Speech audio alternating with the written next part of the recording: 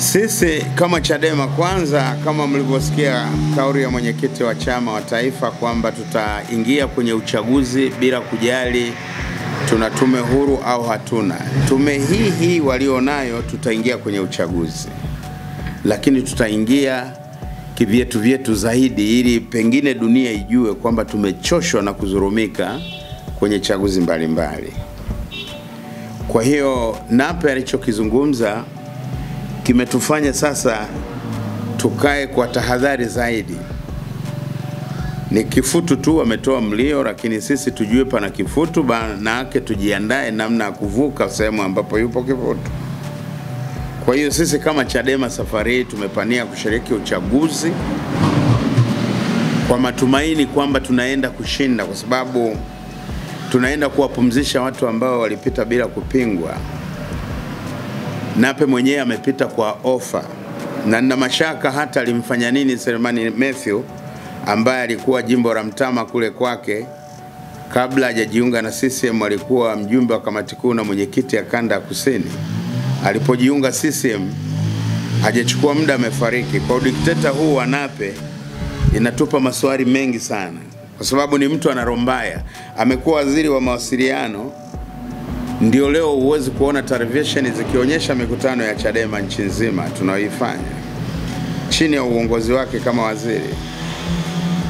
Ndio wakati wake ule bunge liliacha kuonekana live tulipokuwa na wapinzani bungeni, chini ya uongozi wake kama waziri, waziri wa mawasiliano.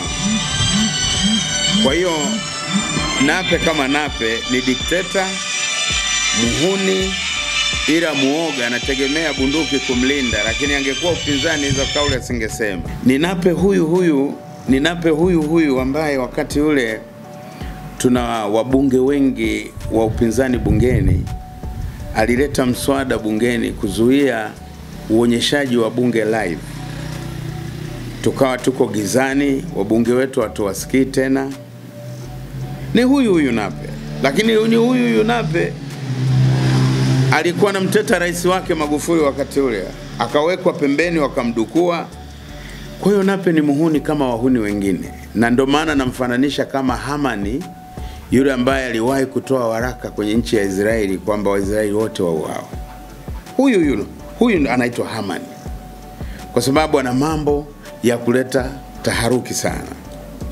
Kwao niseme kwamba sisi Chadema tumejipanga kumkabili na kule Mtama tutakuwa na mgombea, na kabla hata kampeni zile za kitaifa, timu kubwa sana zitahamia Mtama kwa ajili ya kuona nguvu ya Nape anaenda kuifanyaje. Ni mtu mjeuri fulani, na ninafikiri mwenyekiti hilo pia amelichukua. Tumvamie Nape kwenye jimbo lake la Mtama kwa hali na mali, na ikibidi tupeleke mashine za kuandikishaji wanachama kwa wingi lakini tukazindue vijiwe kila mahali, tukasimamishe misingi yote, ili tuone ujanja wa Nape katika kuiba unaendeleaje, uta, utatumikaje. Hilo ndo naweza kuzungumza kwa hatua za sasa. Okay, nyinyi kama Chadema kuhusiana hizi kauli za Nape, je, mtasusia uchaguzi kama mlivyokuwa kipindi cha nyuma ama itakuwaje? Hatuwezi kususia uchaguzi safari hii. Safari hii tuwe kwa tume hii au kwa tume itakayorekebishwa. Safari hii tunataka tushiriki uchaguzi, na ndo kama hivyo Nape alipoanzisha hili, tunataka tuone mwisho wake yeye atashinda vipi katika uchaguzi huu unaokuja. Tunafahamu ni dikteta mjeuli, na ndio maana tunasema tulikuwa na mgombea mzuri Mtama, marehemu Freeman Mathew Ruongo, leo hayupo, hatuelewi amepotea mazingira gani kulingana na alivyomlafi huyu mtoto, lakini yote kwa yote Chadema tunaingia kwa miguu yote uchaguzi wa safari hii, hatuwezi kususia, hatuachi ukoko wala kiporo.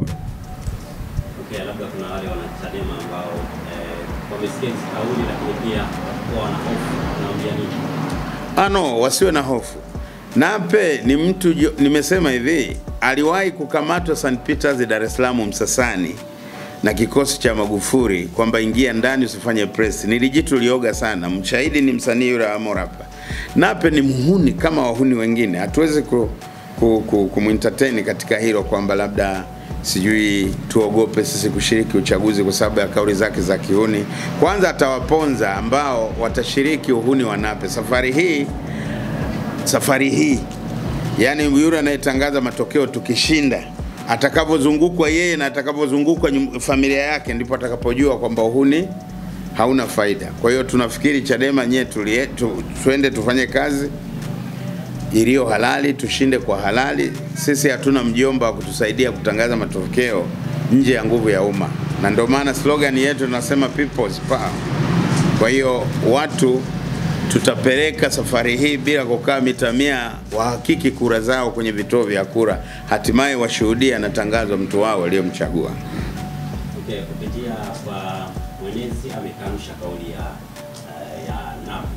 Je, hili kama mnaweza? Ah, Makara Amos naye ni msanii kama wasanii wengine pale, ame- amejaribu kupiga kazunguruka.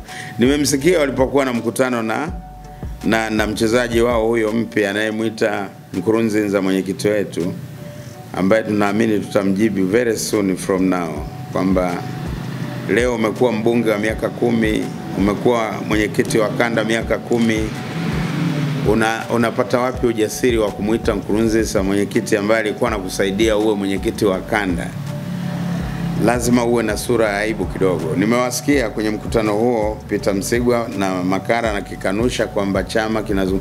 wanavunga vunga tu, ni kwa sababu wamempata mwenda wazimu Nape amezungumza ya chumbani kaaleta sebleni. Kwa hiyo anajaribu kuaminisha umma kwamba CCM inapita kwa halali. Haipiti kwa halali. Mimi nimesema ni mhanga, ni victim wa uchaguzi wa CCM waninyang'anya mpaka wakaleta maskari na jeshi, barabara zimechoma Rungwe, wamepora uchaguzi. Mimi mwenyewe naona, halafu leo unaniambia wanashinda kwa halali. Halali iko wapi? Makara yeye yeah, hajui. Unajua kichao mwenzio anafurahisha, wakwako wanahuzunisha. Tunaumia sisi wapinzani, wao wanalia kivuruini. Mateso yetu, vicheko vyao, labda ndio wanaona hivyo, lakini ukweli ni kwamba alichozungumza Nape ni cha kweli, isipokuwa mmejaribu tu kujipambanua kwamba yeye ni bata anakunya popote. Mliona uchaguzi mkuu wa ishirini na ishirini kule Kawe kwa Halima Mdee dhidi ya Gwajima, jinsi maskari walivyokuwa na shiriki kuweka kura za bandia kwenye masanduku. Sasa hivi watu wamechoka. Namwomba rais wa nchi hii alijue hilo, msitafute nchi ikafikia sehemu ikawa kama Kenya. Mkiona Watanzania mkisema geuka kushoto, wanageuka geuka kulia, wanageuka siku, wakichoka na hizi tabia za kihuni ambazo Nape anazielezea. Narudia tena kwa kusema Nape hajaongea kwa bahati mbaya. Alichokosea ni kuzungumza siri ya chama chake, siri ya chumbani kuileta sebleni. Kama mnyama amechagua yeye kuwa bata, anakunya popote pale. Lakini tumwonye sisi viongozi wa upinzani kwamba ipo siku Nape utalitumbukiza taifa kwenye machafuko kwa kauli zako za kihuni, kwa sababu wewe tunajua ni mwoga. Ulijaribu kufanyiwa udikteta kidogo tu kwenye utawala wa Magufuli ulipokuwa unamfuatilia Makonda alipovamia Klaus, ulipokuwa unaenda pale mm, St Peters kufanya press conference, lile kanisa lililokuwa na sali Nyerere Msasani zamani, wakakutengua uwaziri wa habari na walipokutengua immediately ilibidi uachie Shangingi, ukataka kufosi kufanya press. Magufuli akakuonyeshea msuri, akatuma watoto wake wakakuonyeshea pisto. Nafikiri shahidi mkubwa na msanii yule Hamorapa, ulikunalia kama kicheche, mtu mzima, na lile limwili ulisinyaa. Sasa ndo uangalie jinsi udikteta unao practice kwa wapinzani unavyouma. Mbona we ni jioga sana, na ulienda kupiga magoti Ikulu, mwanaume mzima, kumwomba msamaha Magufuli kwa wakati ule. Usione kwa kuwa wewe unaishi katika yani mfumo wa baba yako kuwa kiongozi wa nchi hii, hujawahi kusotea kuwa mpinzani na magumu tunayoyapitia. Kwa mimi niombe sana kwamba Watanzania tukae attention kwamba alichokisema Nape sio cha bahati mbaya, ndo ukweli wanaoufanya, lakini mwenezi wa chama hiki wa chama hicho cha CCM Bwana Amosi Makara, mtu wa Morogoro, sikiliza, usiseme CCM inashinda kwa uhalali kabisa. Kama mnashinda vizuri kwa uhalali, kwa nini mnakataa tume huru?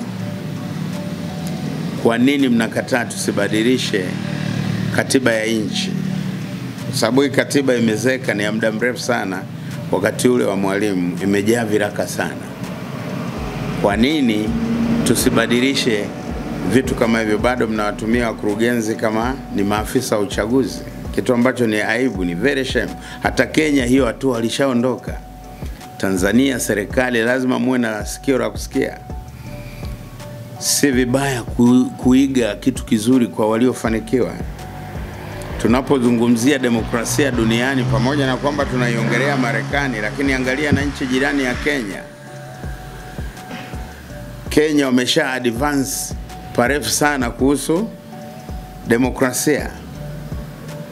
Kwa hiyo hayo ndio naweza kuzungumza kwa hatua za sasa kwamba Nape yeye ni mhuni kama wahuni wengine, anataka kufanya kuleta mizaha kwenye mambo serious ya nchi, na nafikiri iwe mwisho wa yeye kutamka matamko, lakini sio hivyo tu, rais achukue hatua inatakiwa jiuzuru kwa mataifa yaliyoendelea. Lakini sasa ziki nyingi wakina Napa hawezi kujiuzuru, njaa nyingi ndio zile zile kuwa za Kiafrika zenye shida. Anafanya makosa akiwa waziri, lakini anaishia ku, kuomba msamaha baada ya kujiuzuru, kuresign nafasi yake. Ilitakiwa resign, akae pembeni. Tunaelekea kwenye uchaguzi mkuu mwaka huu, ye local government na general election ya mwakani. Tunaomba vitu hivi serikali mchukue hatua, tuende kutenda huru na haki ili taifa liwe salama. Asante kwa kuifuatilia Baharia TV. Usisahau kulike, kusubscribe, kucomment na kushare.